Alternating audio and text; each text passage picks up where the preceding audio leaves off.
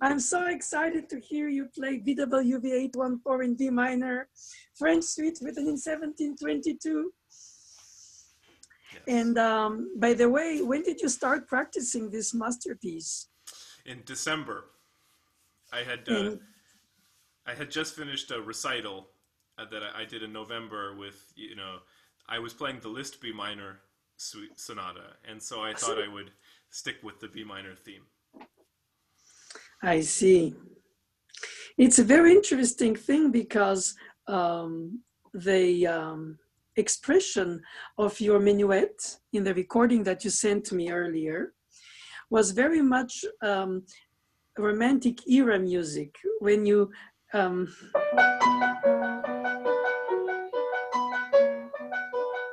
where you combine the intervals into chords.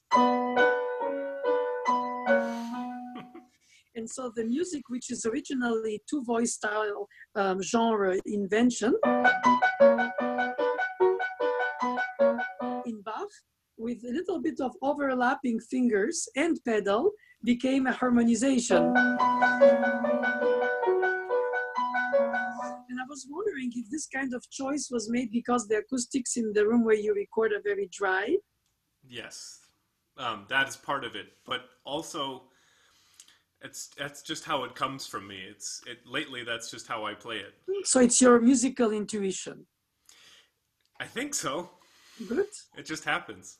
I don't good, know if it's good. right or not, but well, I don't think that I'm in the um, capacity to determine the right and the wrong, especially for music that nobody heard anybody play then.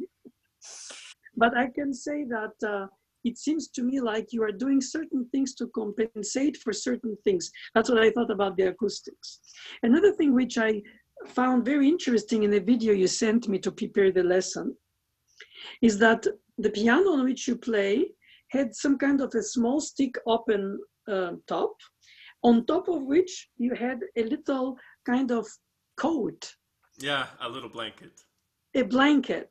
Yeah. And I was wondering if you put it because you thought the piano was too aggressively loud and you needed to muffle it. No, I mean I I I didn't even realize it was there. I I noticed it afterwards in the recording. I thought it, I thought it was perhaps again uh, the the desire to compensate or to accentuate affects, you know. No, I keep I keep the blanket on here all the time. The lid is closed now. Um, is it because of neighbors? Because of dust. Ah, la dust. It keeps the dust out. You know, we're yeah. We Years ago, dust? when I was young, I gave a master class in um, um, Egypt. and um, in the must in the conservatory of Cairo, they had the Bösendorfer imperial size model piano except when I played it, it sounded like a saloon piano from the westerns, you know? and I look at it inside and it looks all entirely dusty. Like you don't see any metallic aspect, it's all like dust. And I ask the people there, why is it so dusty? And they say, it's not dust, it's sand. Because they get sandstorms and it goes through the buildings, supposedly through the skin. Amazing. So I remember playing that uh, sanded Bösendorfer, which was naturally muted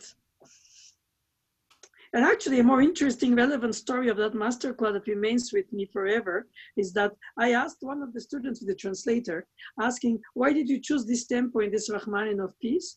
And the translator told me, I cannot ask this question. And I said, why can't you? I ask you to ask it because I don't speak Arabic. And the translator says, here we don't ask them how they think, we just tell them how to think. Literally. And I was like, oh my God, where did I land? and I say, what do you mean? And she says, all our teachers are Russian. Uh, they came already in the 50s when Nasser was president and he was pro-Soviet Union. So they send in a lot, and supposedly many remain in Egypt teaching the ne- next generations.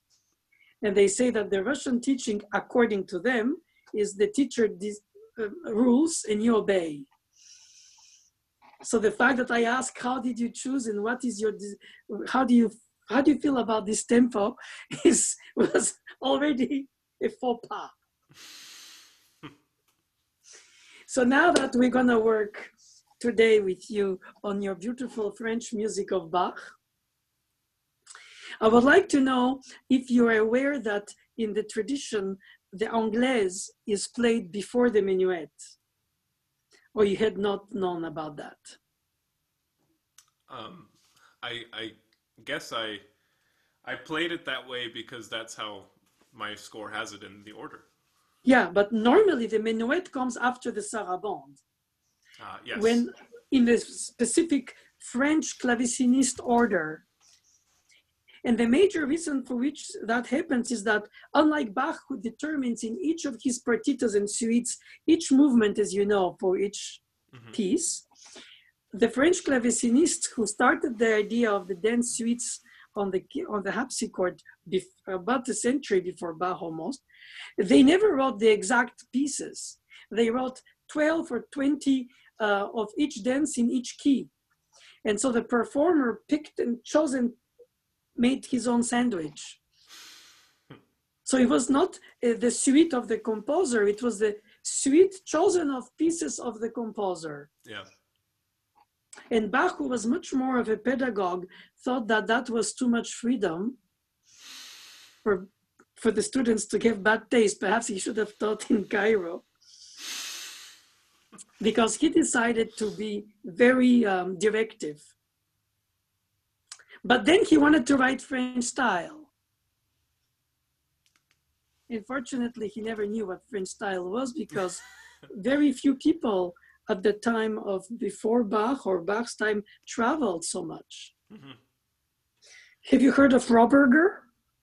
Yeah, I, I have. Uh, I have uh, played. I have a piece of his on my computer. I've been meaning to print it out and start learning it, but I haven't touched a harpsichord in months because Froberger studied originally with Frescobaldi in Rome. Yeah. And then in Versailles. And then returned to Germany. So he literally cross pollinated Europe. and so when Bach heard of French style, it was a very remote idea. It's like, let me write a Martian suite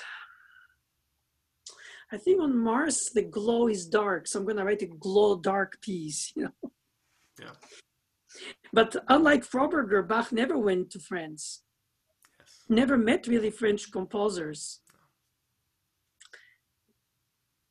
The saying goes that there was a duel that was considered not a competition yet, uh, the prince in Germany between Bach and a French harpsichordist called, um, what is his name?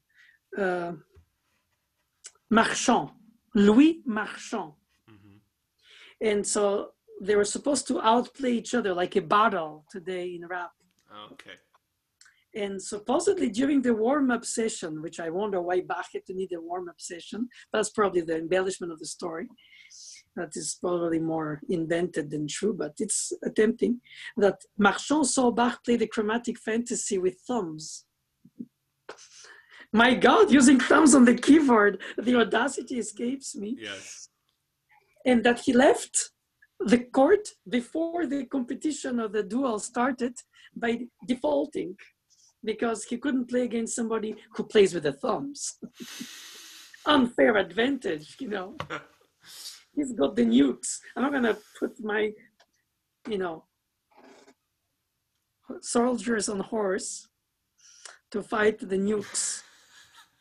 So I think for the time, Bach must have been considered not exactly the most appropriate stylistic performer. No.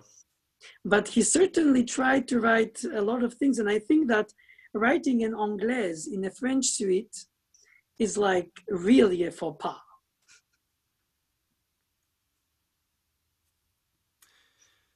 Because there is no more hereditarian um, uh, um, how to call that um, enemy to France than England. Yeah, exactly.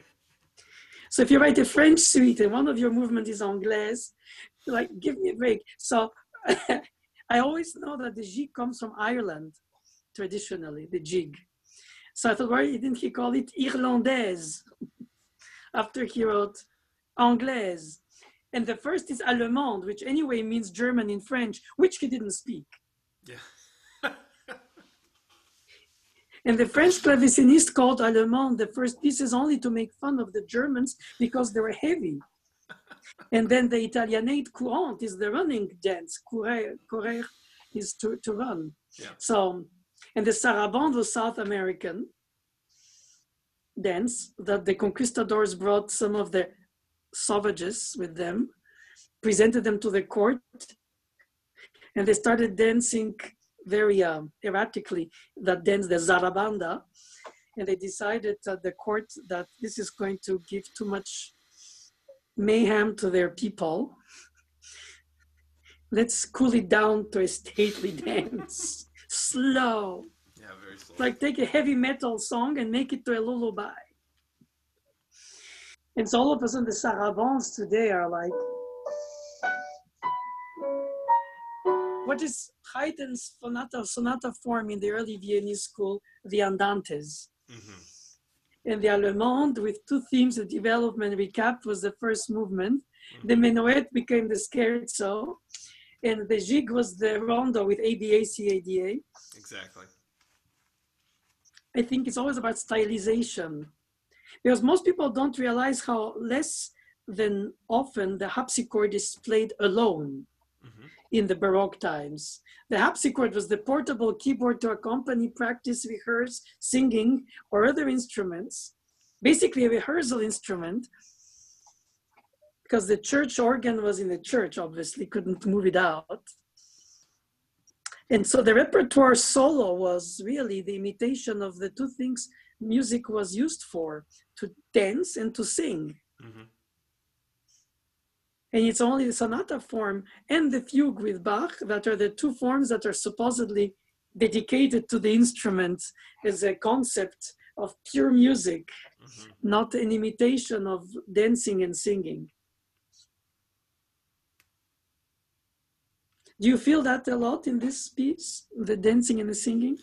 I I try to. I try to, but then I, you know, when I play it, I look around and there's nobody there, and so usually I, I, I, I just, I, I, I s- I Well, stop hearing it. My way. friends rarely, my friends rarely dance the Allemande with me. I know. it's hard to find true the Baroque whole dancers. the, the whole idea of the dance um, the way the baroque musicians stylized it on the keyboard was nothing but because of the social encounters so if you wanted to be accepted in the society of the given prince king play them on the piano was almost like an imitation. I mean, of course, they didn't have a piano, but you know, the forte piano, harpsichord. You know, when you don't move, I don't know if you froze or you So- are still on. You, whatever you just said, I, I don't know if it got picked up on the recording or not. Could you just say it again? Alors, je suis très content de t'entendre jouer le piano. I always think for that when they say that we all tapped on our phone calls. And I always say, who are people so bored to listen to my conversation? Let me speak in another language for the fun of it. Yeah. Yeah. No, what I'm trying to say is that the stylized dances, of course, today they don't have the same meaning because nobody dances them choreographically for social reasons. And so the whole idea of um, the um, choreography was more important than the performance. And therefore, um, the echo of the dance stylized on the piano or today, or harpsichord then, um, doesn't appear to us as a translation. It seems to us like the piece is a piece.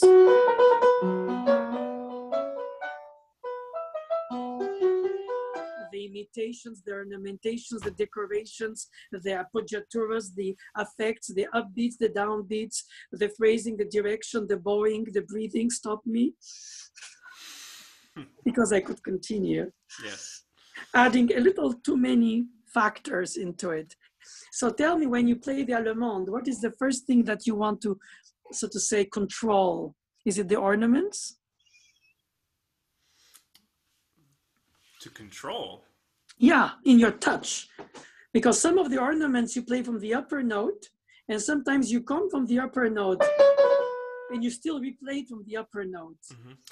Well, well, I mean, as far as the ornamentation goes, I, um, I, con- I, so I conform to the traditional harpsichord ornaments, which are trills from above, unless notated You come otherwise. unless you come from above. That's what I meant.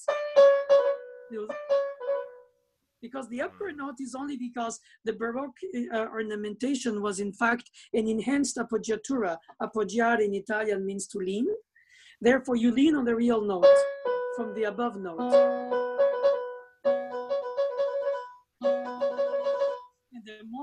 Repeat that redundancy, you become a trill. yeah, So that's Yeah. why we like to think that they were played on the beat and on the dissonance from the upper note, the dissonant note. yeah, But if you come from a passing tone that is the passing tone, the upper note of that real note, then we would play the real note. If you if if, there if the if the melodic line originates from the upper note of the trill of the mordent. Mhm.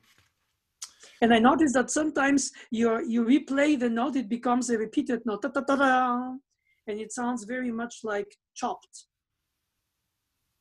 Hmm. I'll have to listen. I'll have to listen to that. You know, I've been playing them the same way for so long now that I It's- probably Well, I mean, so long is only a few months.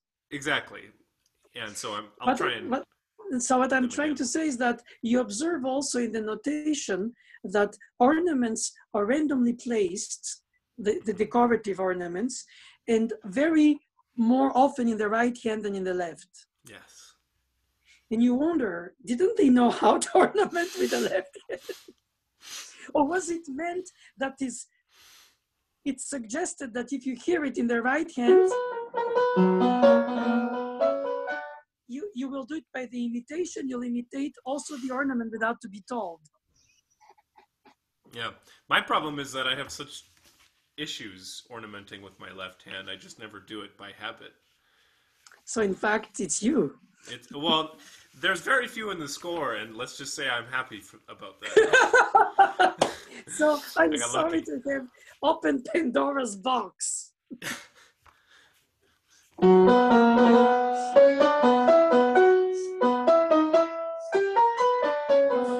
if you had to play it in total unison, like the Franck Sonata, and not in imitation. Here you're really in imitation. I think that you should play the ornaments in both hands, but that's first one. Secondly, mm-hmm. I think your Allemande was played at least in the recording that you sent me before the lesson to prepare for the lesson.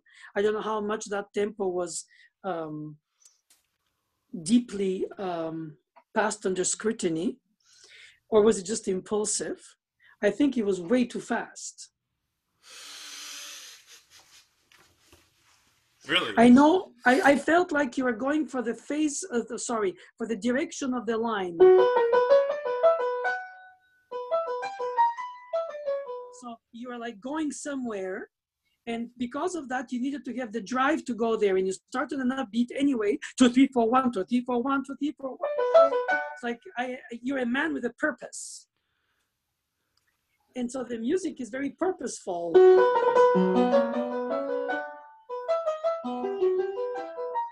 And it feels like you enter in something of a almost dispute between two people who don't agree. Two voices, I mean. I, I'm just in shock because I remember it playing it pretty slowly. I thought it was fast for me, but you see, a consonance to the one is a dissonance to the others. You know? Well, I mean, So- I mean, because I I felt play for me the opening of the tempo the way you think it should be without me having said what I just did. Well, I'll just try and play it like I played it yesterday or two days. That's ago. what I mean. Play it like before I mentioned what I said.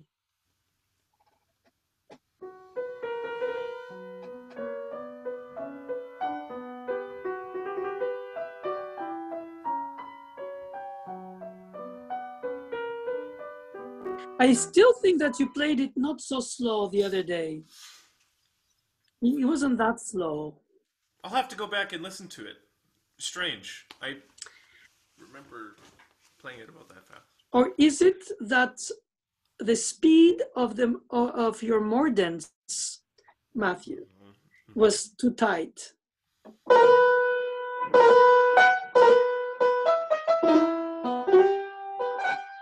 Something was very tight.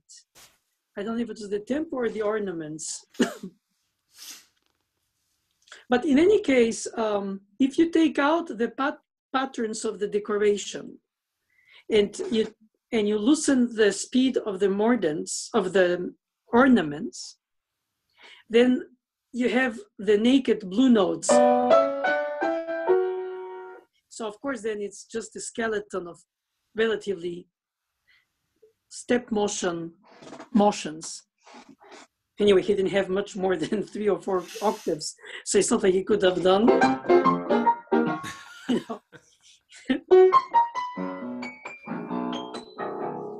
So inevitably, the sense of uh, pace comes from the flow. And what would be if you play the um, first half without any ornament, just the decorations as written? Do you know what I mean by decorations? Yeah, so like this. Uh,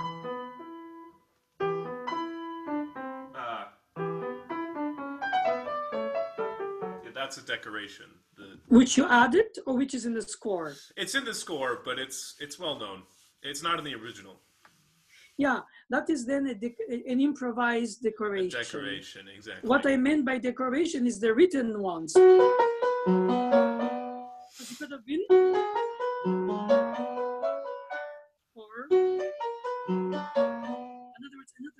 Pattern. But he determines them because he's obliging the people to play what he wrote. That's his pedagogical way. Uh-huh. But of course, the, I speak about the play without the written um, uh, codified ornaments so and just play. okay.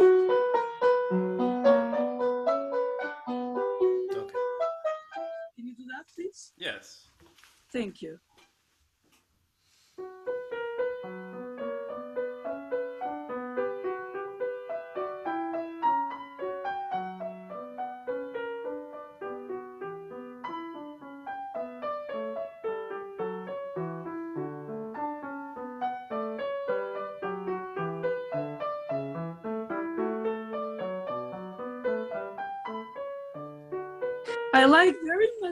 That approach for the tempo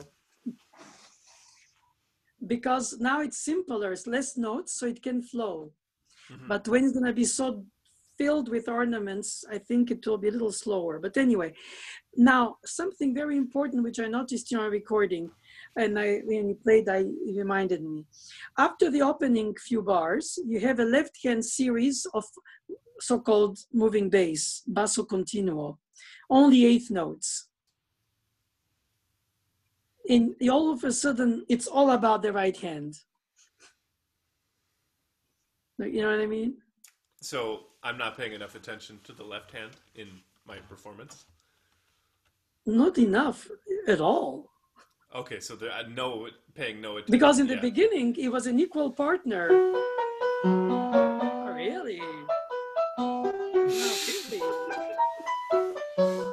Had a dialogue, and then all of a sudden, when you have this long monologue of the right hand, I want the subphrasing of your left hand equal eighth notes to be nor legato nor detached, but groupments of uneven numbers. You don't want to do two and two and two, or three and three and I mean in four four it would be normally four and two two, or it could be I would like you to do something hemiolic like three and threes, something that um, changes bow in the middle of uh, the right hand Because right now, what happens is that all of a sudden the left hand becomes erased from the dialogue in the uh, in in the in the in the section. Yeah, I, I I realized those things too after I listened to them when I was done. It was like uh, I stopped listening to the left hand there. But when we hear Gould play, it's all detached. Yeah. And when we hear others play, it's like Richter, it's all legato. Mm-hmm. And I think that's the whole point of these sections, which are, yes, arias with continuo, is that the continuo has to change bows by groupments of bars, notes. And not be just because then at, at some point the fact that it's unrhythmed gives us the impression that it's just neutral and all of a sudden disappears. And that on the harpsichord is different because you subphrase everything by essence and, and fingerings. Mm-hmm. And the whole aspect of the instrument. On the piano is an instrument which is built to be played equalized. Mm-hmm. So we do tend to play everything even. And unfortunately, that doesn't function for Bach on the piano. Mm-hmm. But I still think that um, when you will add the ornaments, I would like you to play it under that tempo so that you don't have to squeeze the ornaments so fast. Mm-hmm. So, like this?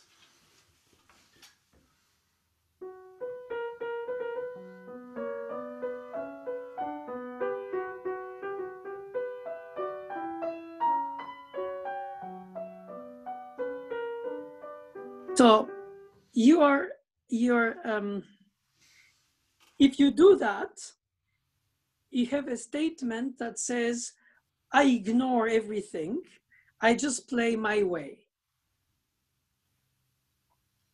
And I think that if the ornaments are that loose, mm-hmm. they become quasi 16th notes. Yeah, exactly. So then it defeats the purpose of the 16th notes that exist. And I think you should find some kind of a pace of the grace notes of these unwritten, rhythmically speaking, notated, um, um, uh, codified signs mm-hmm. that are faster than a 16th, but they're not a 32nd, mm-hmm. perhaps a triplet. Okay, okay. Something loosely not fitting. Yes. Yeah. Because if it's so stretched, it becomes flat. And if it's too tight, it becomes nervous angry or jittery. Yeah, or just too loud. I'm not sure because the original idea that Bach knew about French style was the uneven, jeu inégal. Mm-hmm. The and so here he didn't do.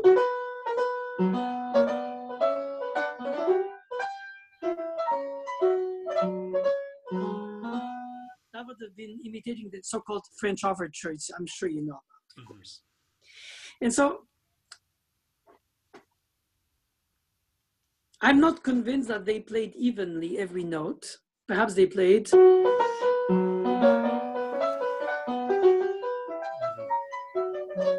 The jeu inégal on the harpsichord is the principle, the basic nucleus principle of their expression.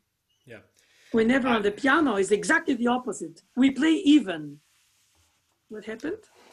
Well, I, I would love to be able to play this piece with Inégal, but I was never able to really figure it out when I was studying the harp. Because if you play very Inégal on the piano, you're gonna sound like you're drunk. Well, even on the harpsichord, I could never figure it out because. Oh, it... yeah, because uh, it's more subtle than just said. oh yeah, and I understand I, that you're very subtle. I know you. So I'm not saying that it's simple like this, but I'm saying that if we play it on the piano and the piano is made with a longer resonance of each sound, we have a sense of connection. Call it legato, call it air legato, call it singing legato, parlando. Uh, uh, whichever way, there is some kind of um, narrative quality on the piano. Mm-hmm. And um, it's it, it's more it's singing more than it's dancing mm-hmm. by essence. And of course, if you play, then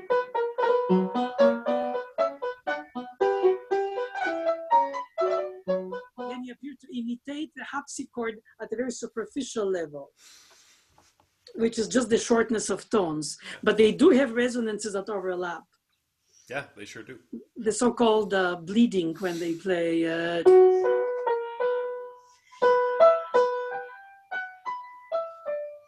it's in fact more imitative of the dance and of the bowing than of the harpsichord as an instrument, mm-hmm. because all these uh, patterns in the voices that he writes are very much melodically phrased. Could be an aria. My God, my true, Well, anyway, thank God I don't sing. I noticed that you play deliciously legato your tritone. It's like. Ladies and gentlemen, it's a pickle, but I will sweeten it. I personally am convinced that when Bach wrote an augmented second, not often, or a more often augmented fourth, with dissonant uh, in intervals, it was to create an effect of expression that is to do with pain and, and something that disrupting. Mm-hmm. So for me, it's unthinkable to connect legato uh, tritone. I will do.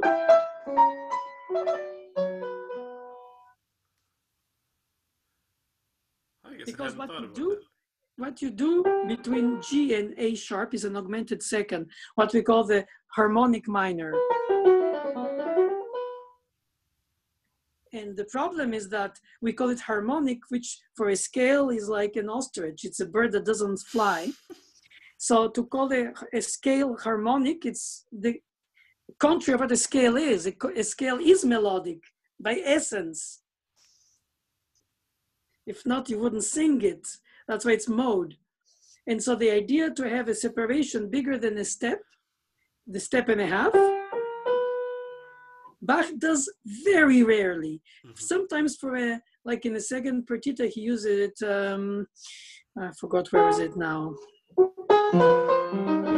But no, generally, I think it's considered as a sixth degree being minor going to the dominant. Mm-hmm. In this case, um, in the leading tone. But when you go use that stretching of the intervals,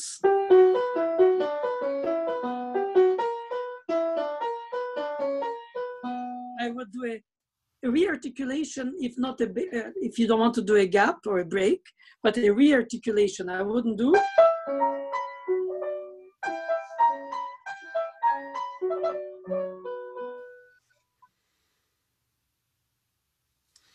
To justify to a young man like you who is so musical because um, in fact i feel like i took off one of the pleasures of your performing the piece.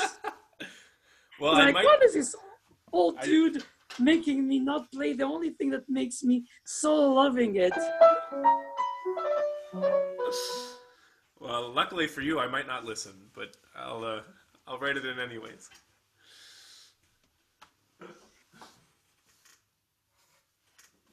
with those headphones, I have the impression that you're an airplane pilot. Airplane pilot. but I can say that um, Bach uses very purposefully these dissonant intervals melodically, regardless if they're bowed in the same bow or change of bow, if you breathe between, if you have a uh, in singing perhaps a different syllable, regardless. But I still think that you are yeah, that's my opinion about the dissonant intervals melodically legato. What so, do you think about the meter of your courant? Oh, I'm sorry. Go ahead. You want to ask uh, me something? So you think that I mean, if I if I understood you right, you enjoy the s- space in between the dissonant intervals more than the connection. I rather enjoy the rearticulation, like you put a restatement. It doesn't have to be an interruption, but it's not.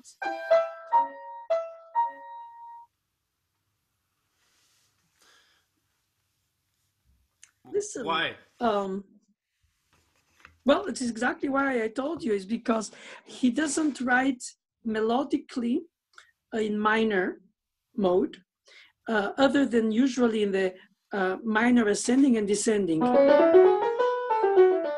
call natural minor on the way down and major on the top part of the minor bottom for the ascending minor. That takes care of the problem. So you don't do melodically, you do. Oh, okay. So it's okay. Okay. Which is why they call it harmonic. But because I, it's the harmonization that justifies that harmonic mode. But the mode by essence is not harmonic, it's melodic. And so by essence, what they use in the singing is step motion, and they don't use melodically a, a tense interval like or this reminds me of the theory classes from uh, EMA last summer Mm-hmm. a little bit. You know, um, I'm thinking about well because there's a contrapuntal motive in this piece, right? And it's in the left hand and the right hand. But then here, when he uses the tritone, can you see? That's yes, I, I see.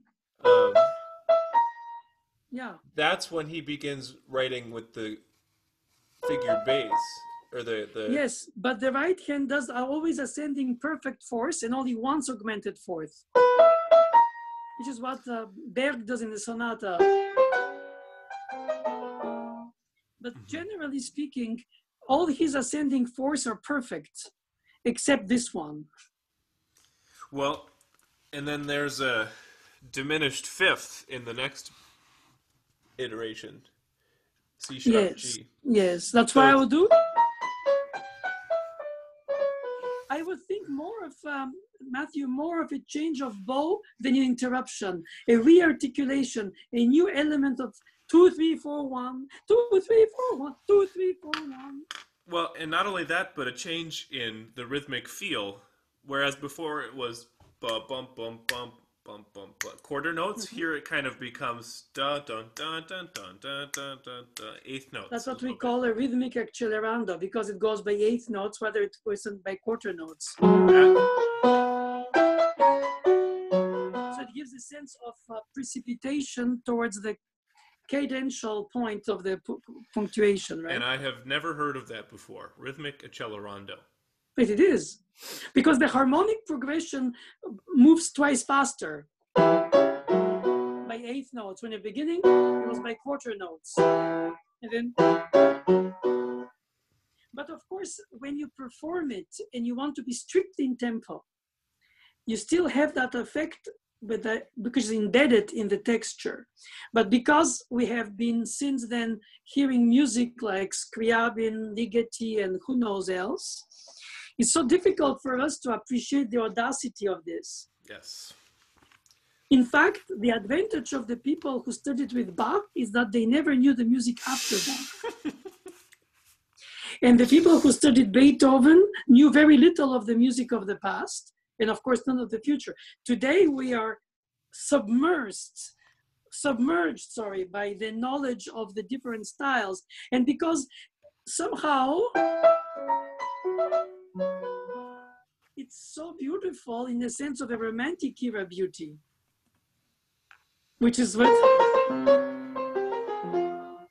Chopin brings us so much that, and Chopin is very classical, but very romantic too in the expression, classical in this harmonic progressions rather.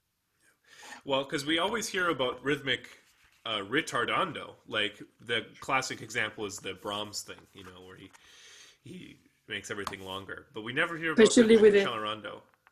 Me, oh, las. Yes, exactly. And But triplets. that, yeah. But what I wanted to say is that um, the final chorus of St. Matthew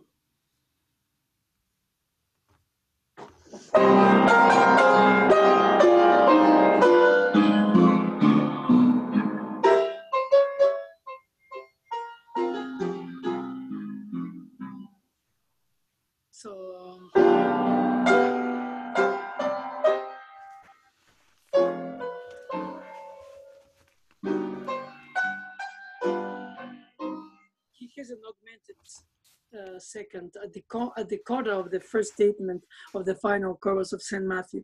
And every time I hear that, it gives me jitters. Mm-hmm. It's like an electro electroshock. Whenever when uh, Bernstein wrote um, um, West Side Story, it's all about it. Because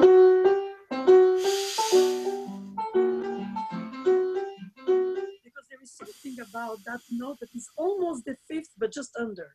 Mm-hmm. It's more about tension. It's more about the jazzy undernote note. When in Bach is more stately.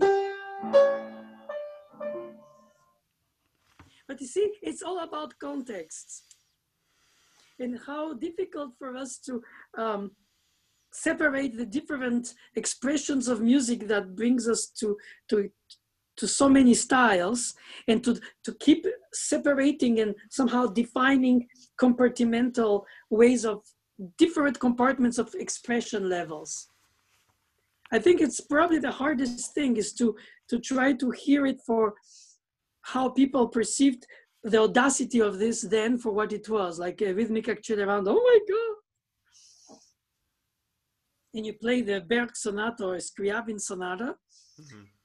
The whole thing is high seas with waves everywhere, and you're just floating and not knowing where you're going to land on which beach. And so when you hear something so organized, mm-hmm.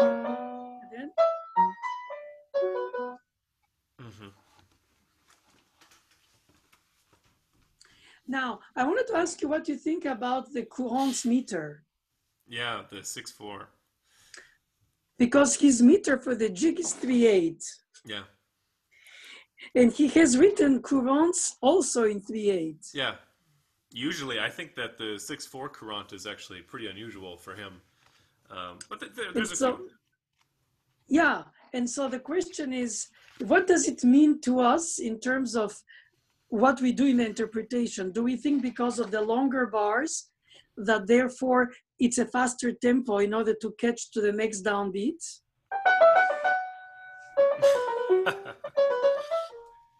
because you see further yeah.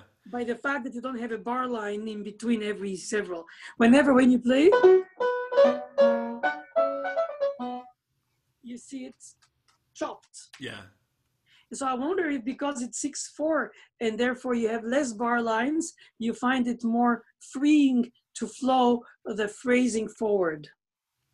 Well, the classic, you know, courant shift is the change from three feeling in three to feeling in two, or vice versa and in this piece, you know, it's almost always in two. And I noticed that you brought, you brought that very clearly the the the oh, pillars of the beat. Well, it's taken me months just to finally get that. So I'm glad I'm at least there. And so the problem is that the right hand plays on the piano very expressively the long values as well as the long short values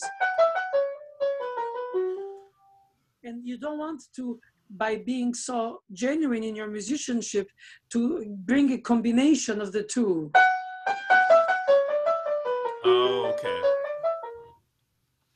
so, and for that yeah. you have to be more disciplined and choose which one will be playing louder than the other and if it was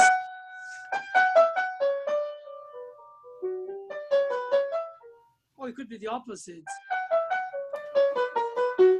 now you could also do the touch difference, like air legato with legato.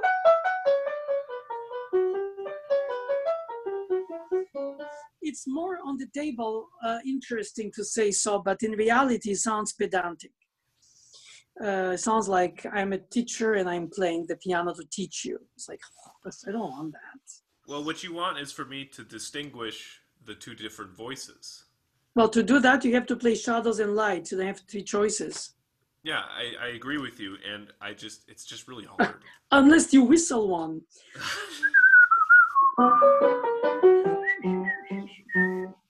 so obviously the problem with that is that for 30 more years I was teaching desperately the layering voiced um, polyphony in the same hand in Bach's music for pianists. And then in the latest years, I was I got tired to swim against the tide. And I decided to say, you know what, if after all the composer himself was ambiguous about it. If Bach really wanted to hear two voices, why didn't he bring them away? He bunches them, and the length of sound anywhere on the harpsichord was gone. So you had a new phrase. And then Yes. you have to you have to keep it in mind. So you could do different inegal in order to differentiate the two voices by doing two different types types of inegal.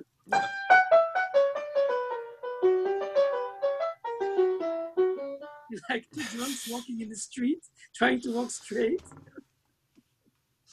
but I still think that therefore perhaps ultimately if he places two independent voices in the same hand, therefore in the same octave uh, stretch space, that perhaps he really wanted somebody to be able to hear a combination rather than a, a layering.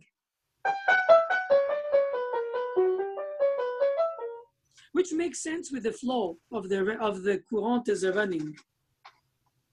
Usually, if you run, it's hard to be polyphonic at the same time. If I was writing a courant, I'll go. That's it. I'm flowing there. But when you start doing these uh, up and down stems, and the right hand is not all, it's the left hand that's a problem also, because you have to fit it.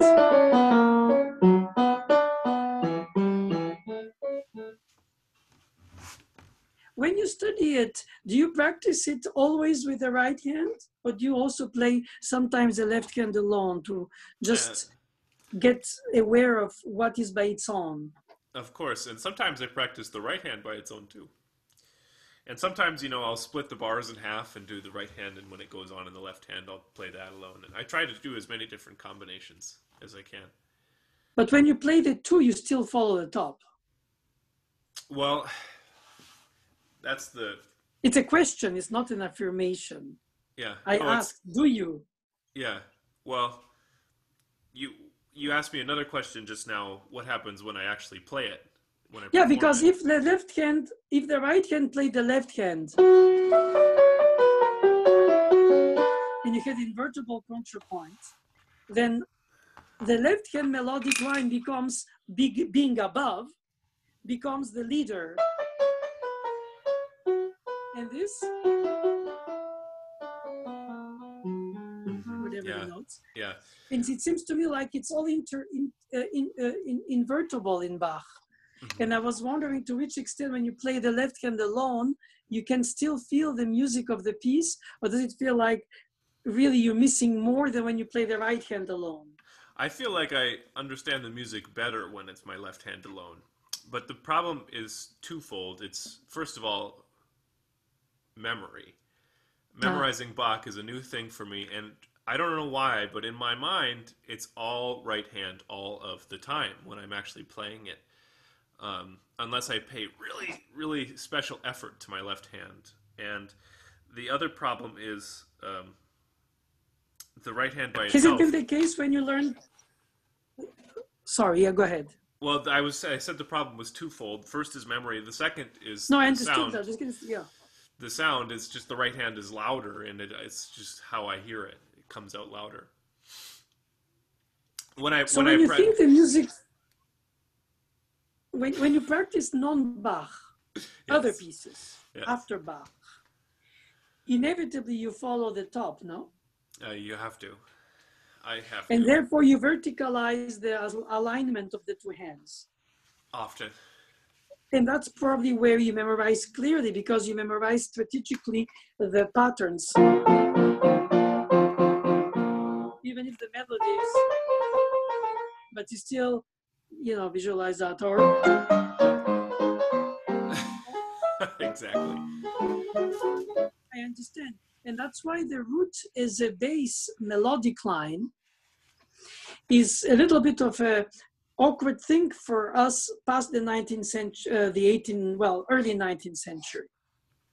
because it all becomes harmonized, harmonized melodic lines. Mm-hmm. And um, yeah, and it's sort of created the habit for me, even when I play this music. It's still because you force yourself to play it horizontally layered, which gives you trouble memorizing it. And in order to memorize, you have to remember how it fits on the beats. I think you're right, and I like yeah, I think you're right, and I think I've just adapted the same strategy, but with baroque, you know, flair, and it's it comes out. My right hand dominates the whole thing. I think the uh, reason for this is because that shift happened with uh, the early Viennese school until Bach and a little bit after, it was all about figured bass. Yes. In the melody, in fact, in the right hand or the top part, whichever whoever played it, was the emanation of the harmonization. Mm-hmm. It's like the humidity creates the clouds by evaporation of water, mm-hmm. and not the clouds themselves appearing, because when they rain back down, it starts again up. And it feels to me like all the music we play on the piano usually in terms of its uh, melodic and thematic material. It's a melodic line that is harmonized. Mm-hmm. so when you have a melodic line harmonized or you have a melodic bass that is melodized it's exactly the two opposites and I think that if you play the left hand alone and you speak the right hand, it might help a lot, no? Okay. Yeah, I'll practice that. Even if you don't solfege, just la la la. La la la la la la. La la la la la la. I mean, ideally, it could be nice to do solfeging, but that is for the nerds like me and ultimately it doesn't solve anything because it's not the point. The point is to be able to um, synthesize one of the voices by another than the fingers. Yes. So that's not only connected to the muscular memory of the piano playing. So once you can speak one and play another one you already differentiate them better because you don't have to play them both. Of course if you write them silently just on paper you hear them but you write one at a time because you cannot write at the same time all mm-hmm. so inevitably you follow several and you build them like shelvings and i i think that there is a great merit in copying music yes i think so too. for for the uh, for the memorization of these bridges, these connectors, these uh, the little things that are not thematic. Of course, everybody can remember. Oh God, me too. that is an expressive moment that brings out.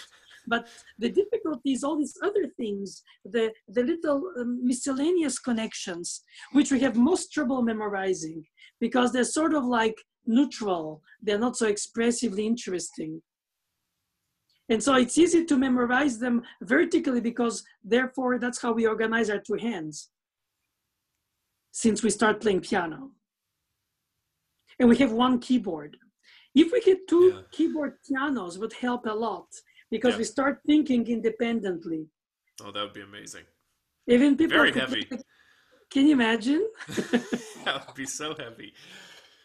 But at least um, the reason of this layering would appear so more natural. Yeah, and that but exactly. Org- organists do that. Oh yeah. But the repertoire is not the same. They cannot play a Chopin waltz on the organ. they ah, oh, can. But Thank it God. Shouldn't, it shouldn't be really the case. Speaking of the sarabande, I noticed that you took a tempo that was really the borderline of falling asleep. Okay. Okay. Do you find that it's never calm enough? I, str- I well, I want it to be calm. I, I'm I'm a tr- I'm kind of mainstream in that way. I like the sarabande to be soft. I like it to be calm. But you know, I also like the way Gould plays it, and I let that. I sort of copy him sometimes when I play it. You know. Can you play for me first? Oh, that's him, right? Yeah. Well, even weirder, he does um, coulées.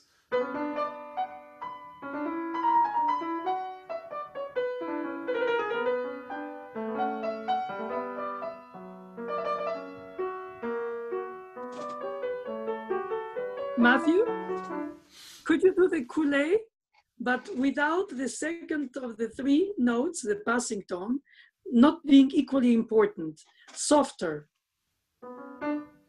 like, and not Oh, okay. because on the modern piano, when you play the second passing tone of the three notes of the coulé, then you inevitably create a dissonance. And the coulé is supposed to be the passing tone that joins the third of the chord. I don't know how he plays his coulé, but I would like you to play a lighter coulé, a coulé léger. uh, Yes.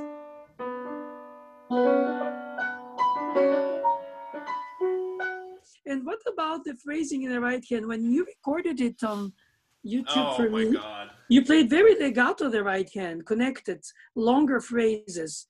Now, it was it because now you imitated Gould, but what about playing it Lorenz? Yeah, I, I. Have you? Oh, that was the one ornament where you played on the on the upper note, uh, Matthew. Because Yeah, you well- already you have the B, so you cannot replay. You shouldn't replay the B. Well, I I was taught at least by one person, you know, who, who I trust, by the way. Uh, he said always top note, even if it's Even if you come from the upper note. In fact, the only time you don't is if there's a tie. But then it's a suspension. Because- yes, but it's a suspended trill. But normally in appoggiatura is a suspension that's replayed. And if you add, it's a lot of added B's. you know, I, I, I, I do see where you're coming from, and uh, we'll have to consult the rule book. I would say that when Beethoven starts 109, he also does the same problem with the repeated notes.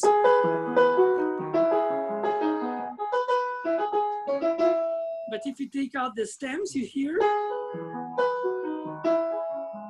But he still plays the anticipation of the next melodic beat in the in the decorative pattern of the first beat. He could have done. But no, it has to be the repeated note. And so when I heard you play, uh, I was like, wow, that's heavy. I will That's do, yeah. but to tell you the truth, nobody the hell knows. Yeah, and if I was listening and I heard somebody play it from the A sharp, not having if I if we had never had this conversation, I would call them lazy. And I'll call, and I would have called you if I didn't know you, overzealous. In fact, the point of their projectura is to be a decoration already. And if it's in this case, it is a suspension, we already have a delay of the leading tone. If not, would have had. So already by writing it with this with a tie, by delaying the resolution, we make it. Um, we uh, what is the word? Uh, we long for it, right? The longing, and then the resolution on top of it itches.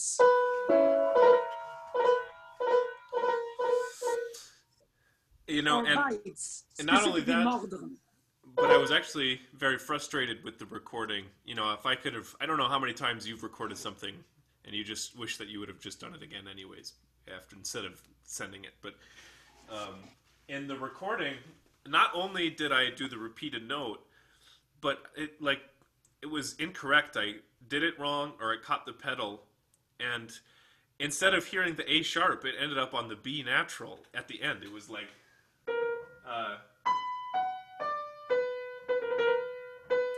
because of the way the pedal caught it, and it was like I didn't even play the A sharp. You know, this is our life as pianists. There is a um, fracture between our intent and what comes out. yeah, and sometimes um, we have to we have to accept how to deal with the unexpected that happens on stage or in performance or in recording because all of a sudden you practice to control it one way and it just owns you. And he tells you the hell with what you planned. I want it this way. And i must say that in a philosophical point of view this is much more important to nourish that kind of um, um, adapting to the unexpected while having some kind of set rules ideology that can evolve in time. But it's a dialogue between what you want to do and what comes out. And there's nothing worse than saying when a teacher says do more and you say but i was doing it. So this will sound like a stupid question but it's not. So why do we practice? What for? To in order to to uh, i know exactly why it's not dumb at all. It's the it's the most philosophical question. We practice not to play like we practiced but we practice in order to play with the unexpected at the performers at the performance so imagine you prepare to marry this blonde and at the moment you say yes you see it's another person and people are saying, but it's the wedding, so act like it's a wedding. And so you prepared all your life, and then you prepared so well, but it comes out scrambled eggs. So what do you do the next one? You do and then people think, oh my God, it's a different edition. What a great idea. He has a musical idea. And you did it on the spot, on the second it happened because you have to save your, your face for some kind of coherence. If not, they'll know you just messed up. Yep, yep. And so I find that the practicing is a repetitive, um, cognitive, and especially muscular memory situation where we gather enough um, muscular memory to leave a lot of the brain cells free to think musically what we do when we perform instead of having all of them occupied at the playing of it. In other words it's like an orchestra without conductor. But the conductor without orchestra of course is very meaningful meaningless. I just find that then most students consider that the practicing is in order to solidify the unexpected, to in fact ban it from happening. By isolating the, the chances of the unexpected. And I think that they don't realize that it's to do more with concentration of the brain than with muscular memory. Okay, it can save you during few bars. Yes, it can but at some point, you realize that you're behind your piece playing, your, your brain is lagging. And when you're slightly ahead, you're always cruising. It's like the conductor who always beats a beat ahead, and the orchestra plays always on the beat that he beat already earlier.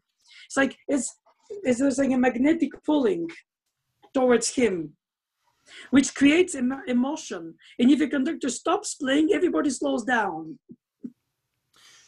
And I'm, I'm thinking about Iner- like an inertia. Go ahead. I, well, I'm thinking about the the pacing of of you know your mind when you're playing, and it seems to me. I mean, you just touched on uh, what did you just touch on? Dealing with the unexpected, you mean? Yeah, and and not only that, but cruising and, and and keeping up with the music. Oh yeah, keeping your brain cells free. That's the that's yeah. what I was thinking about. Yeah. And focusing and concentrating. And I understand that much about it, but I'm missing the opposite end of that. The part of the music where you can just kind of relax and not So I think that I think that depending of the, technol- the, the, technique expected for the given piece, obviously it's different if you play the sarabande than if you play an etude by Chopin. But in terms of technique, I mean. And I think the difference is that the mental pressure, tension that you have to organize all these fingers in their independence, in their voicing, in their rhythm, in their articulation, blah, blah, blah. The making of it takes so much of your brain pressure that in fact you have a false sense of concentration. In fact, you're not concentrated at all. You're just absolutely frightened. It's like you drive and a deer is crossing, yes. and the only thing you do is put the gas pedal and hope it's gonna stop, but you're panicked. And that's the thing very often when we play a piece that has many things going on at the same time, we are at the same time at some point in the performance in some kind of a panic mode and we try to make sense of it. And so we relate a lot on the autoplay, the sort of um, uh, autopilot that fingers move and we just watch them move, but we are no more there intellectually because it overwhelms us. And so what I meant about thinking ahead, it was more about uh, the musical thought ahead of the section. So that you're always, um, it's like when you drive at night and you put the low beams you see so little in front of you that you're very focused because you have to be reactive more to turn right away than if you're at daylight where you see no matter how far. And then you don't have to be that you don't have that same pressure and tension that you have to be constantly reacting to save yourself on the spot. Whether you're there you feel like you have more time to do it. And, and i so, find that when you have vista when you perform you feel like that. So what i notice is that when i listen to takes of my recording sessions. It's really strange because I hear somebody else while it's me, obviously. And I start to repertoriate on the paper the numbers of takes. And I say, take 47, and I start writing like to a student. Terrible, why ritenuto, monstrous accent, stupid wrong note, blah, blah, blah. And then that is the fact. And then I hear other takes of the same section, and I try to compare them. And I realize this kind of concentric um, concentration that brings you to um, adjust your touch in order to reach what the first takes tried but missed because they were unfocused. Either the touch was too heavy, either the phrasing wasn't right. And most of the reasons that happens for the recording sessions, in my experience, is that you arrive at the recording studio pumped up with the musical ideas that you want to record. Yes. And as soon as you start playing, the way it comes out on that instrument that day in that room with this recording uh, equipment, and you hear it to monitor, you go like, that's not at all what I wanted to do. I intended this, I intended that. And then you realize, okay, I have to adjust. So instead of this that I thought I'll do, I'll do in impact this way. Instead of the touch, I'll play legato. Instead of slow, I play fast and all of a sudden you try to find the coherence that corresponds to the um, elements in which you bathe at that point. The type of articulate uh, uh, of our action of the piano, heavy or light, or with an uneven keyboard here and there. The acoustics, the way you hear it in the tone engineering. Some microphone placed one way or the other brings you different aspects of the texture and your idealized musical so, um, sound picture that you're painting in your mind before you go to the to the recording doesn't translate. You feel like i cannot do what i wanted to do. But something else comes out that i didn't intend to do.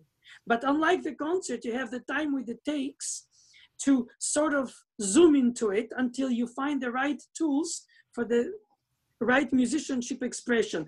The problem with the performance once through in front of people is that you have to adapt with all this in real time. Yeah.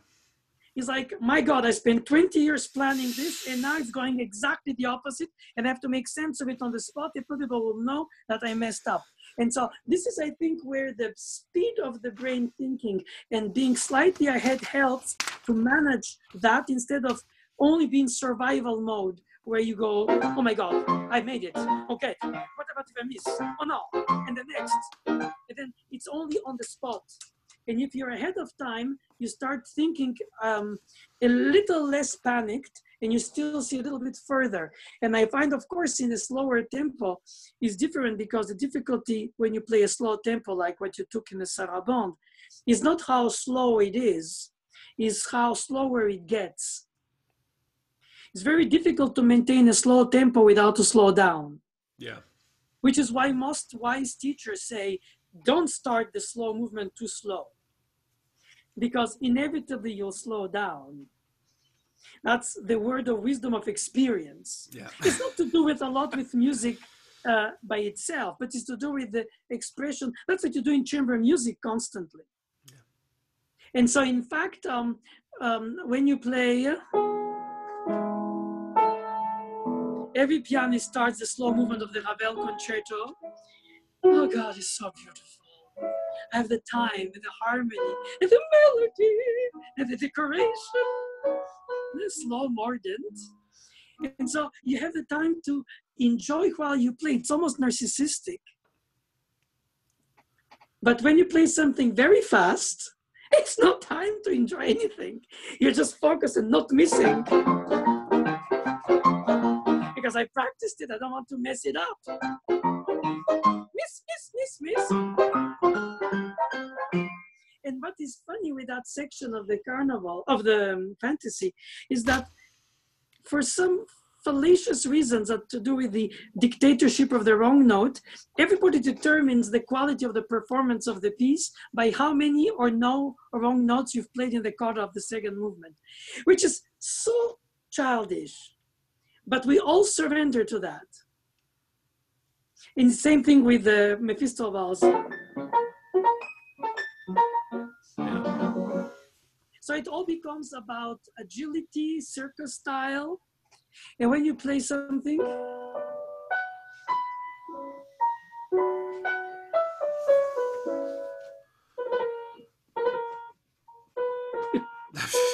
See, it's hard.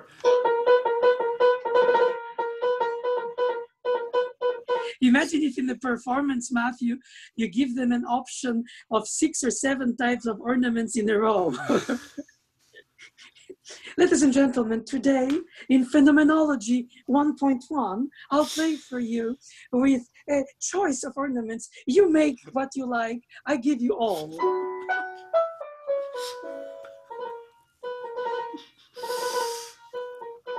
So, Mr. Naoumoff, I have a question in this vein.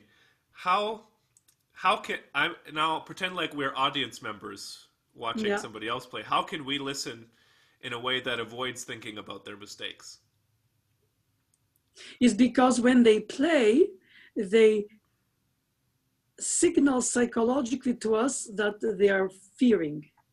It's, yes, but even if they don't, sometimes we always catch ourselves. Ah, they made a mistake there. Ah, I know that note's wrong. That note's wrong. That's wrong. That's oh, you wrong. mean the wrong note? I thought you meant when you sense that the musician is No, no, no, no, uh, no. no. Well, e- nervous. even that too. So, well, when they when they're only signaling to us that they made a mistake, then you know that's just what we hear, and I'm guilty of that too. Even in the recording that I sent you at the end, it's like, oh my god, I'm Paul nervous. Badura's Paul Badura Skoda Yeah. used to have a very interesting tick.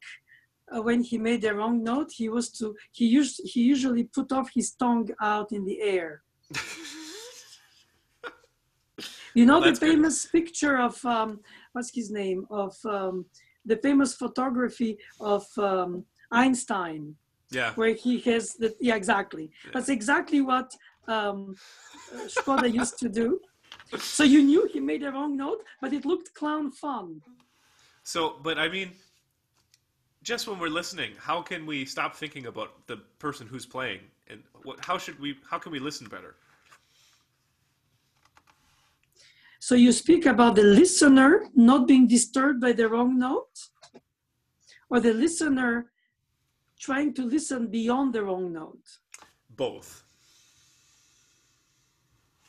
I remember in the Tchaikovsky competition, when people were playing the Chopin etude in the first round and made the slightest wrong note in the flow of notes, the audience was going, woo, That's disgusting. collectively. That's disgusting. It's like attending some ice hockey game, you know. So it felt like a competition in its purest trivial form, which is like, you know, gladiators. I fight, I die. and um, I think on one side, it shows that they know the notes, and they're not an audience of juries. Of course, they're regular audience. The jury doesn't boo, at least that I know, but the audience did because they're there in the hall at the same time. And so you could say, oh, wow, they're so knowledgeable. I still think that um, the concept of the wrong note is a very um, difficult thing to define because you have the wrong note that sounds plausible. because they're with the same harmony or they're in the same melodic line. In other words, they are wrong because they're not right, but they don't sound ugly wrong or or they don't sound wrong. They sound, I don't know, if I do. Obviously it's wrong, but it doesn't sound like Bach couldn't have done it too. Yeah. Then compared if you do. That's the clownesque, yeah, obvious. Yeah.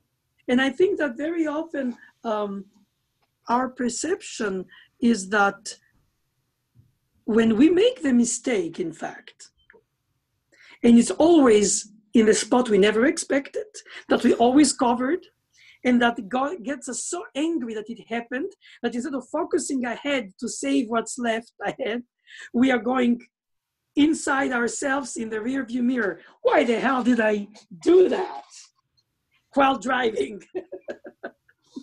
in fact, we are more puzzled and angered at ourselves gosh, why did I spend all these times in the practice room if I'm going to mess it up as if I didn't practice it?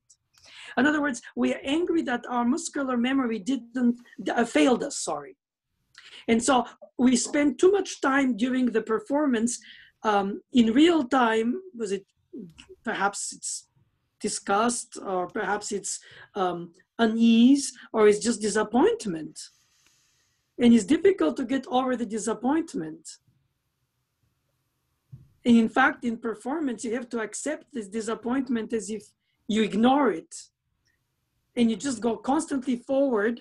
And then once it's finished, you can always dwell. But the problem is that that doesn't happen easily. We are often very upset because usually this kind of mistake is to do with a connection between the brain and the finger or a disconnect.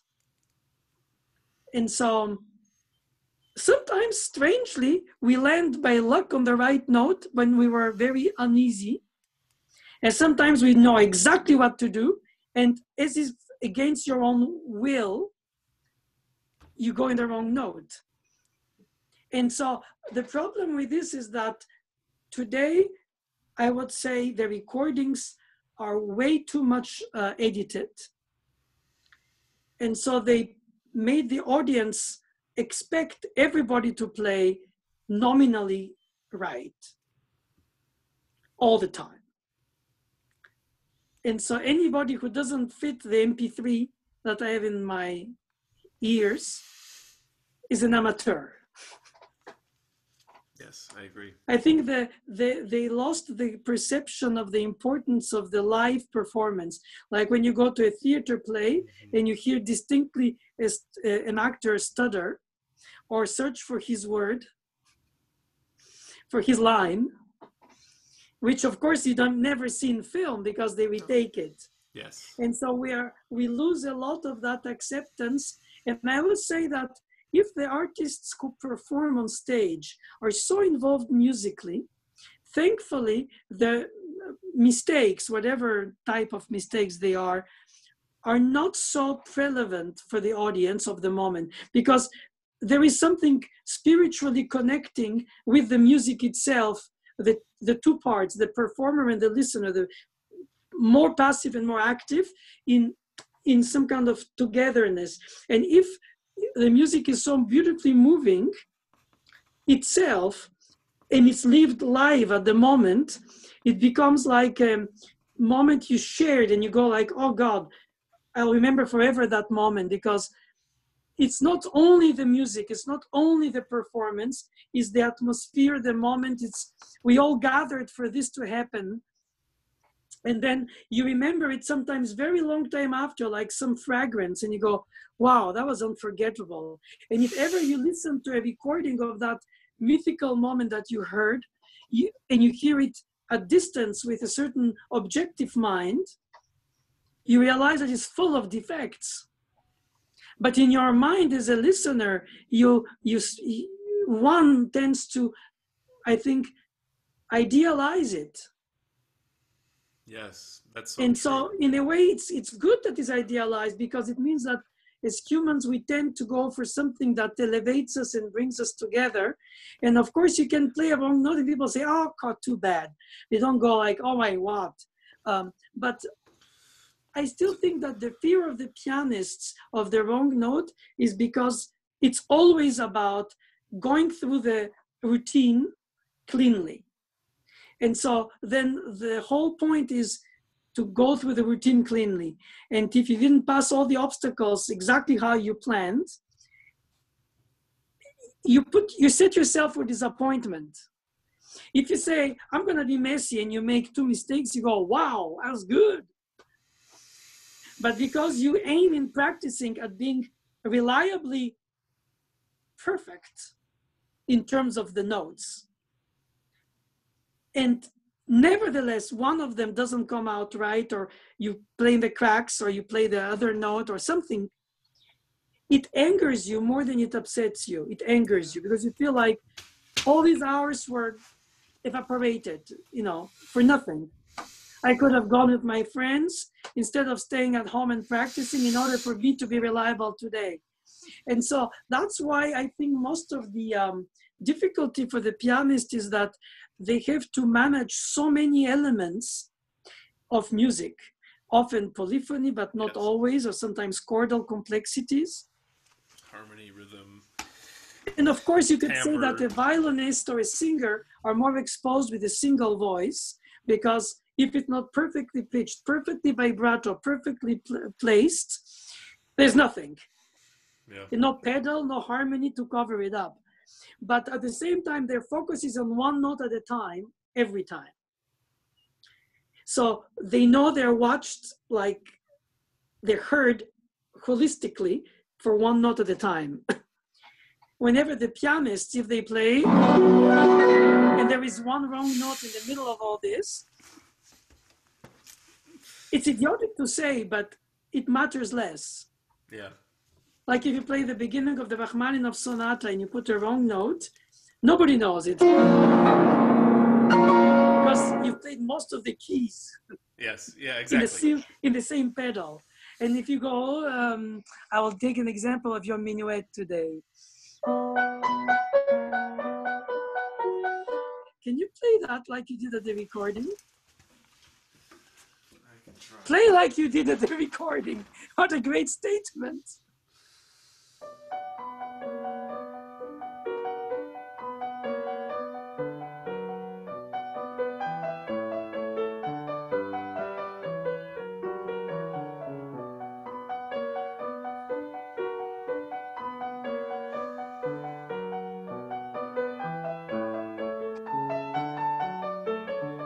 So in fact, what you what you did is you played like in a Schubert um, piano piece, imaginary um, voicing of stems.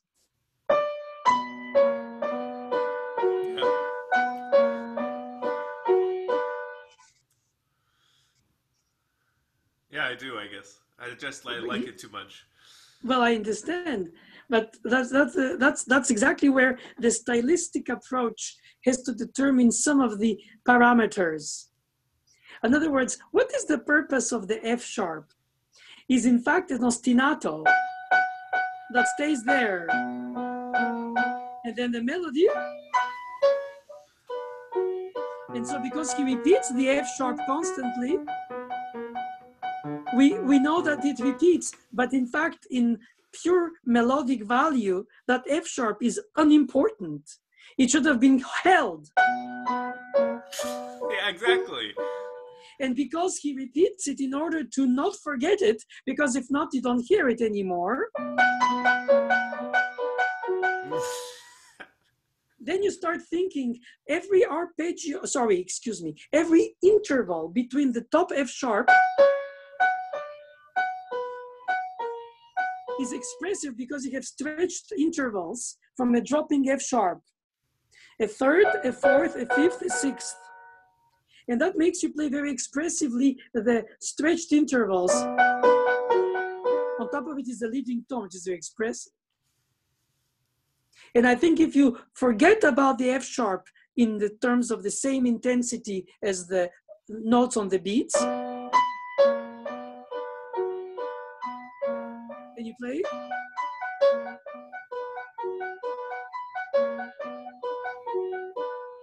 At least you don't play?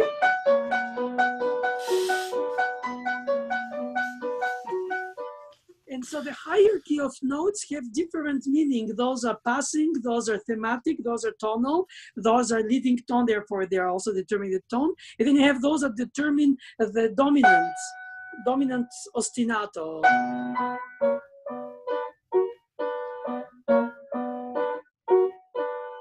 With an exchange of voices of the others. And so uh, you could also think Bach could have written like it is in book one. So you could say that um, what makes you play it so legato is because you find it more expressive.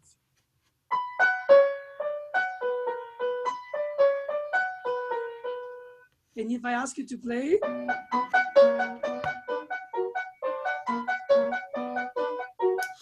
say, I cannot stand that. It's well, so mundane. No, I mean that's actually the why, reason I love that piece. You know, the minuet, the first minuet. That's why I decided to play this French suite. I but you like it. it. singing? No, I love it's it's the acoustic. I think I'm uh, I'm compensating for the acoustic. If it was a hall, I would play those as short. So it's too I dry, and therefore the acoustic would have uh, put the sound halo. It it sounds like I'm pecking at at an empty jar or something.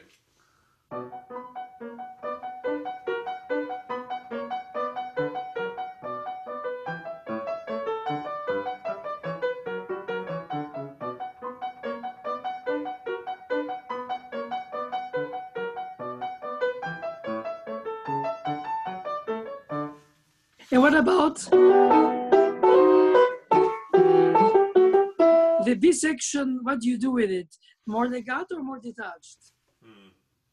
Or well, since I since I played the first one legato, I play it more detached.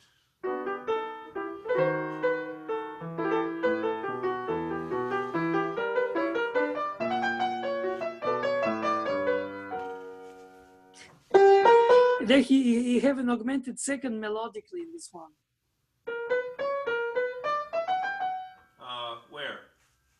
Earlier. Can you replay the trio again? Uh, no, continue. Oh, there it is. Yeah. You know, it's it's it's one note is over here and one note's over here. That's why. Uh, I that's didn't, because didn't of it. that. When he changed the line, he forgot which was his sixth degree. Flutter sharp. You know, it's interesting that the chromaticism probably defines the best Bach in general for his musical language, because most of the composers um, used chromatics um, a little bit, chromaticism, sorry, a little more um, restrainedly than Bach. Bach seems to powder everything in chromaticism. It's like some kind of um, addiction.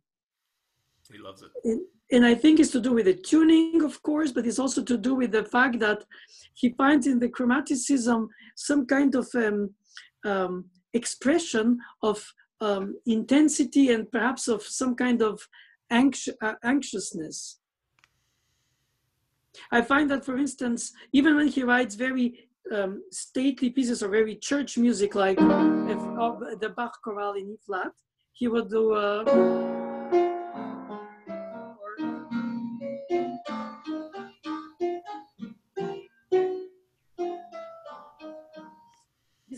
tortured um, melodic um, dissonances to the chromaticism, I think he was, um, he abused them. and what always I find very striking when you study harmony, they tell you that you have the modes major, minor, and for the chromatic is every step semi-step. So by essence, it should be neutral. It shouldn't be major or minor since it only has semitones. But in the music literature, all the chromatic pieces are 99% in, in minor. So I think they associate the uh, sorrowful expression of the minor seconds in the chromaticism, since it's on every on every note, with minor. It's very rare to hear a chromatic piece in major. Yeah. And I think for Bach, when he does uh, or in B minor, he chooses where. It's very la note choisie, the chosen moment for the expression. And it's it doesn't strike right away. It just it's part of the flow, and um, it's sort of a colorization of, of an effect. What do you know about jigs as a tradition in general? Almost nothing. In terms of the music, not the dance. Almost nothing. I mean, Irish. Yeah, I understand, but no, they um, say I. They say Irish, right? Yeah. No, no, yeah. I know, but that that Bach certainly. I don't think Bach ever danced ever. no, I don't think so either. But my point is is that um, there is that sense of leap, which um, is very important to the jig because the jig is um, literally um, a shiver, a, a, a, a, fast movement. Usually was danced by the men to impress the lady that they can jump high, so they have strong thighs. And that's what it is. Gig, uh, gigoter, the verb in French is to be jittery. So um, the idea of, and he adds to you this specific pattern in the beginning that Bach uses all the time is the shorter values the declarative are first. Whenever in the beginning of the second half of the uh, 18th uh, century, after he died, people would have do the short ones in the weak beat before the downbeat. And Bach uses it often on the downbeat, which makes him stop before the end. Mm-hmm. So you have a note.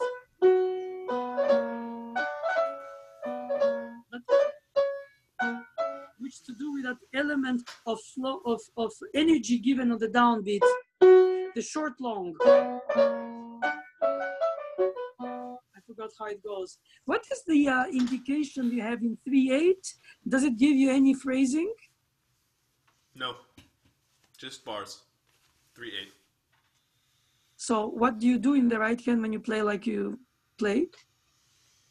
Si, fa, si, well, I, I, you separate I like, or do you connect? I like to play it short, but I've been warned not to play it too short. And um, wait, because it, it becomes confusing with the other part, the the other voice. You mean? Well, just because it's an ugly sound. Ugly?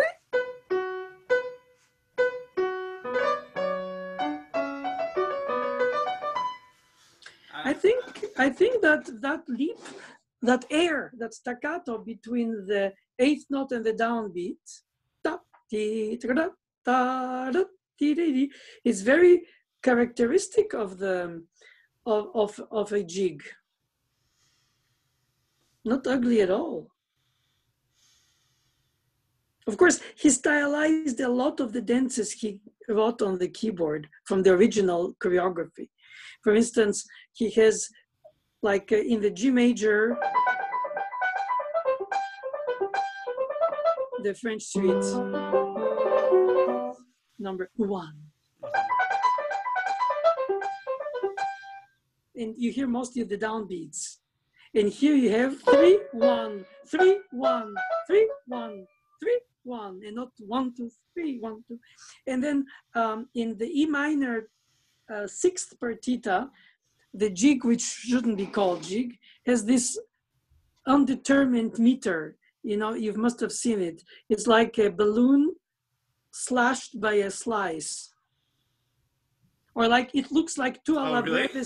It looks like two alla breves facing each other. Wow. No, I haven't seen it. That's amazing. And and it's a very difficult, um, mysterious style uh, of notation of a meter that nobody really knows what it means. I mean, loosely it makes sense. It makes like as if you have a four two, in fact, since you have twice two two.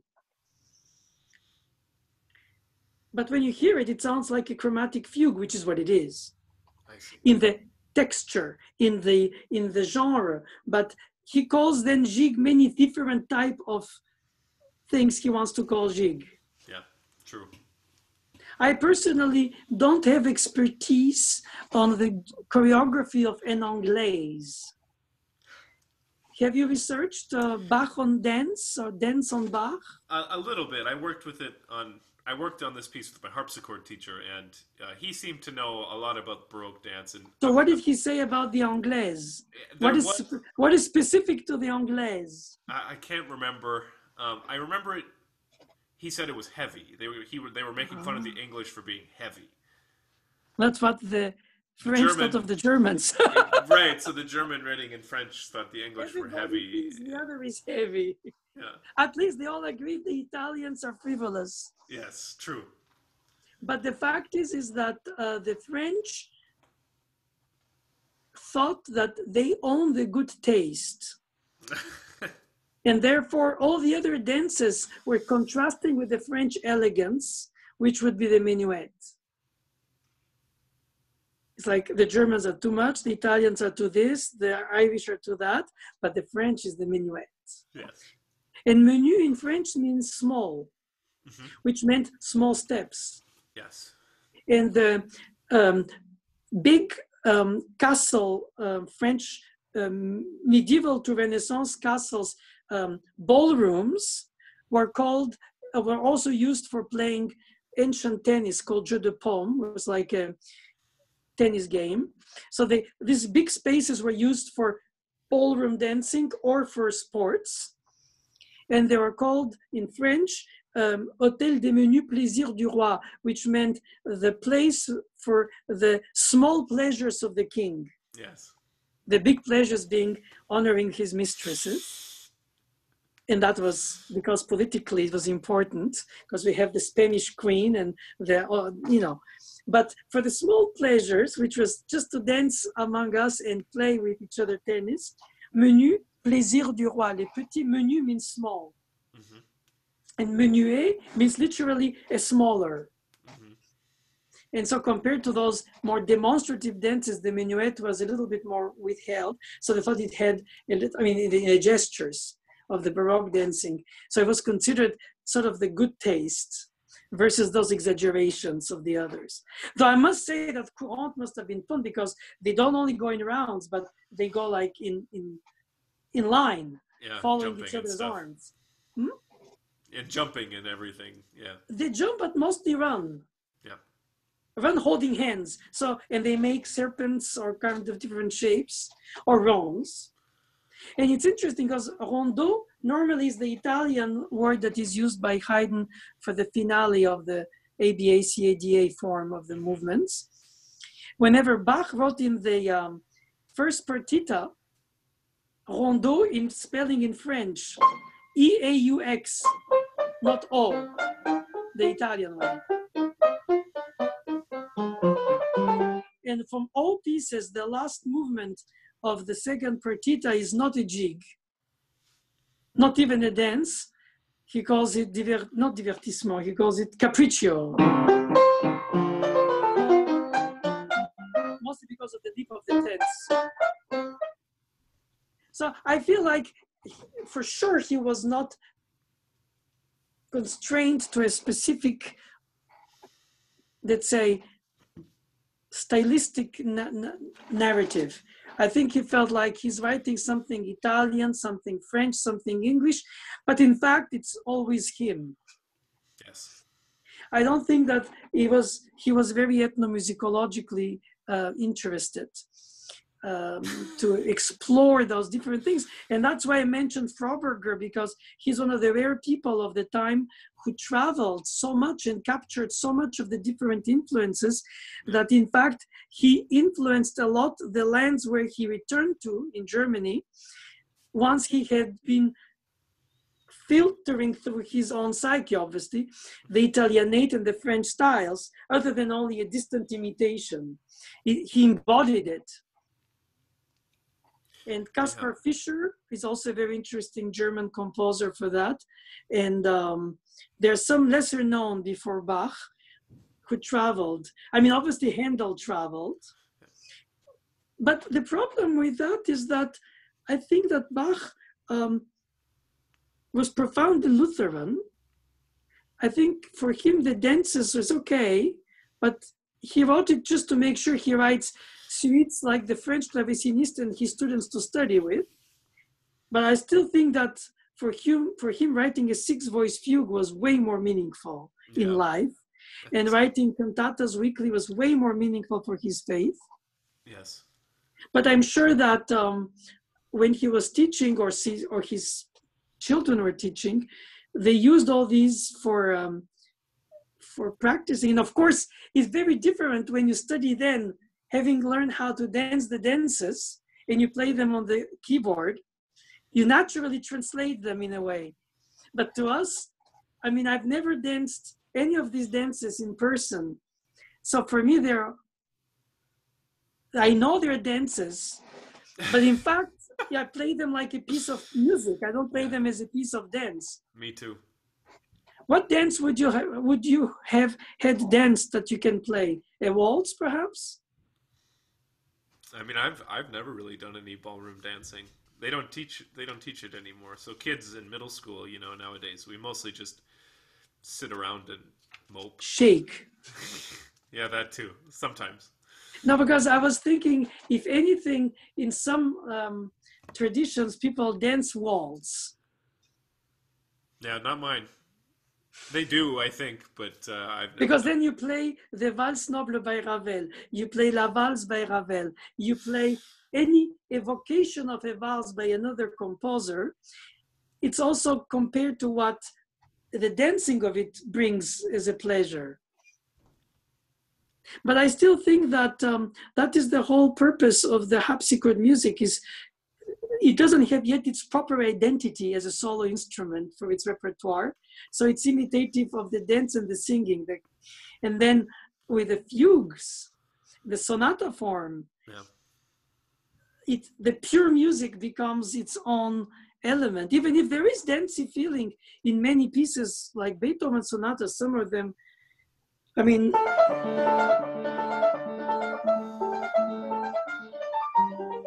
Certainly very um, evocative of some kind of a flow. But, you know, no, it's true. We don't dance anymore. At least those dances.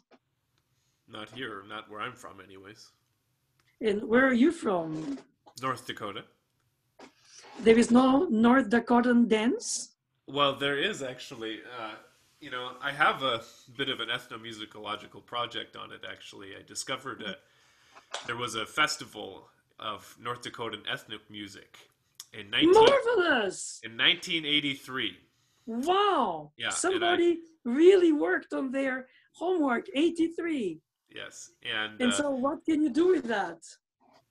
Well, her I, I met the director of the festival. She's 98 now and uh, when I helped her move out of her townhouse, we found the old VHS tapes, and um, we we we put them. I put them on YouTube. I made them digital. It was a huge project. Um, That's great. Actually, actually, I'm going to send you the link if if if you. I'm very excited. And so, is it like a what kind of dance? Is it square dance or some kind of a? It's it's even weirder. It's more like circle dances and circle. Yeah, and um, is it separate genders? Because um, oftentimes, yes. Um, but you know, North Dakota is a huge hodgepodge of ethnic groups. In that festival, I can imagine. In that festival, there was like, I think, twenty different ethnic groups. They had Germans from Russia. They had Norwegians, Swedes, Finns, Celts, Danes. You know, Poles. Uh, did I say Finns? Um, uh, and then they have uh, Native Americans. You know, Indians. Um, and then there was, you know, instrumental music. There was fiddling. There was uh, choirs, everything. I mean, uh, you you would really really love to see this. It's really think... marvelous that there is such a melting pot of um, of uh, backgrounds of people who mm. who found their future life in another land, basically.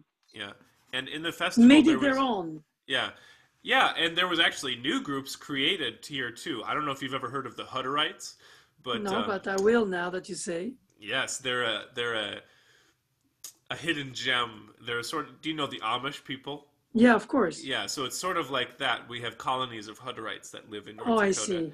And I didn't this know. on um, part part three of the video series, um, there is a rare example of Hutterite choir singing.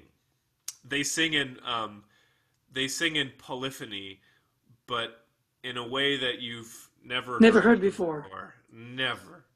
And where does those traditions trace to? Is it Northern Europe or Holland or? Well, I, I think I, I, I don't know the history of the Hutterites. I believe. I mean, they might have their own uh, genetic tree, so to say. They well, that's the thing. They might have been a sort of North Dakota specialty. You know, they might have been a an Amish offshoot. I think they speak a mostly German. I think they. Speak, I see. I, they speak the, they're kind of their own form of German. I see. Yeah. So I'll I'll I'll send you the the festival and I'll and so this lady I, I look forward to it. This lady was ninety eight. Yes, Tamara she initiated this project. Yes, she was our first um, music history teacher. Well, not the first music history teacher, but the first female music history teacher we had. And I believe that she was the first ethnomusicologist in North Dakota. She never called herself an ethnomusicologist. yeah, perhaps was. that's not. It was. It's difficult to know when you're what. Yeah. It, it, you're mostly defined by the others for what you are or what you're not. Yeah. But you hardly define yourself. Yeah. Yeah. And I still think that this is very important tradition because most of the people today with the globalization tend to erase all the originalities, would it be accents, regional culture, regardless what type. It's just that it's considered sort of not cool. no, it definitely. And, and what is fact, cool is to be globalized and you know everywhere is the same just because we have the same. But in fact, the original uh, ways of thinking that come from original ways of um, living basically it's all about rituals in life. Yes. How you consider the death, how you consider the marriage or the, uh, the, the procreation, the joy. I mean, the cycles of life.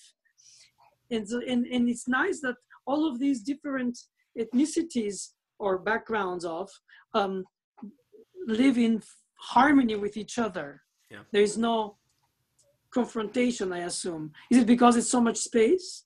Yeah, there's very little confrontation here. A lot of space it's very hard. It was very hard to live here. It was just farming all the time and dirt and stuff. And um, so inevitably, you know, that it must have made them strong to survive. Well, not only that, but they had to cooperate. So they had, yeah. Well, sometimes you do it out of necessity. Indeed. But when you see the history of some of the uh, ethnic situations in some countries or it, geographic areas, you realize that uh, they always find good reasons to confront, which is unfortunate. And so, are you going to um, develop this project by bringing it to a new dimension well, I, after her 83 attempt? I, I want, well, I think it'll be the last time there will ever be a festival of ethnic music in North Dakota. I really think it's the last time. Most of the people in the video are dead. And um, they didn't pass their tradition down very much. Um, and what is the reason you think for that? Is that the exactly the globalization of the next generations overtook it? Well, in we have a lot. We have a problem where a lot of the people are moving away from the small towns. That's and the so the big thing. towns are becoming little globalization hubs. And that's where all the culture is. There's, you know, there is culture in the small towns, but musical culture and recordings. You know, recordings have destroyed. You know, it's something that music. reminds me of what you obviously know by by ethnomusicology. That's what Bartok did in the Balkans. Of course. Way back in the twenties, and it's in a way pioneering and at the same time sadly suns, the, the sunset of it too. Yes. Because had he not de- de- done that, today we would have lost these uh, oral traditions of songs, dances, whatever they are. Of course, codifying them in the notation of Western culture was, for Bartok, I think, the way to make it more universal. And I'm not sure how much the notation um, translated exactly what they were singing or playing. Because it could be that those uneven rhythms are not always seven eight or five eight. They could be five and a half eight seven and a half. In other words the people who are doing music by oral transmission from generation on they don't do it with a knowledge of the notation. They do it just by the pulse the the, the melody you know yeah the feel yeah and my project was, I mean, Bartok's project was massive in scale. I mean, he, it was an amazing thing that he did. And my project pales in comparison. All I did was put them on YouTube. Um, I'm not an ethnomusicologist or anything like no, that. No, but but you you have a sensitivity towards the um, for instance, you mentioned all this because of a specific dance from North Dakota. Yeah, exactly. And I did I did try to get the Library of Congress to take it. They wouldn't. They wouldn't even put it in their records um, because, because, they, they consider it uh, unimportant. Well, this is a good thing, I think. It it they have too much stuff already to put in there, and so I'm like, well, hopefully, you know, there's tons and tons of ethnic music festivals happening around the United States where they don't even want our North Dakota. I doubt it. The only recorded North Dakota ethnic music festival. I mean, we're just North Dakota. No one really cares. But uh, I was well, I thought it was a shame. I find that to be a very uh, beautiful extension of the um, conversation about um, the um, purpose of a Bach Baroque suite of dances yes. out of its time period and out of its instrument time period. And we're so remote compared to all what it meant to them then. Yeah. And so we have to reimagine it. So what you're saying is that even between 83 1983 and now there is a loss so imagine between 1722 and today. Well you asked you asked at the meeting the other day if i ever talked to the composers. Yeah. And i mean I I feel such a gap. I can't even really imagine it now. But it's it's the really amazing thing is that we still like the music. Like it still speaks to me, even though it, it is so old. It's a, it's a strange combination of um, archaic um, attitudes and then some kind of um, eternal present. For instance, present time, I mean. Because I find it very striking when you go to a museum, you look at artifacts, it's all based on chronology. You know, this bone of this uh, um, uh, dinosaur corresponded to this time period in that area of the world. So it's all about placing it in context. And so, in a way, we should think that the music we play of the past is like visiting a museum artifact that is interesting for what it is, which is a museum artifact, not for becoming part of my daily life routine. And for some reason, classical, as they call it, music, tend to be written way before us in mm-hmm. time periods that we are totally ignorant or unable to imagine. And so we just extract the music and we put it in our life and somehow the message of the music itself would it be i don't know the melodic thematic whatever you call it talks to us at the present It's like when you play a piece by Chopin, you don't think you're playing a 19th century composer. You know it, but when you play it, it's now. Yeah. It has the same relevance that it might have had then. And I find that um, most people don't understand when they're not um, interested in classical music because they think that everything classical is like some kind of bag in which you put all the old stuff. Yeah. And Yeah. everything everything modern is extremely calibrated by styles. So you, when you go on the radio satellite station, they give you 100 type of stations for different subcategories of pop music. And then one station But- for classical. But for classical is one for all the centuries of music. So, you know, when you tell them there is a difference between Guillaume de Machaut and Debussy, and they go, so what's the difference? But if you tell them Elvis and the Beatles sound the same, they're gonna look at you like you're out of your mind yeah. because yeah. these subtleties are relevant to them. And when we talk to them about what Frescobaldi means to us, they go like, "Oh my God, so I listen to that and have a headache," you know. and I find that this is a major problem: is that our civilization is so based on the competitivity of today, especially with the screens that give us information without any background. And so we are stressed in the dailiness. And every time we try to imagine the past in its um, chronology, at some point, for most people, it disappears. I think beyond their grandparents is somewhere with the ancient times. And so I always find people who are passionate for history can easily become passionate for ethnomusicology, can be Mhm. passionate for geography, be passionate about etymology of the words, how they traveled with which tribe and which um, uh, movement of population. And it's, then it becomes very more meaningful because you start seeing little dots that connect little dots Yes. and it and it makes you realize that there is some kind of a invisible thread there but it's true that for most people they don't want to do the effort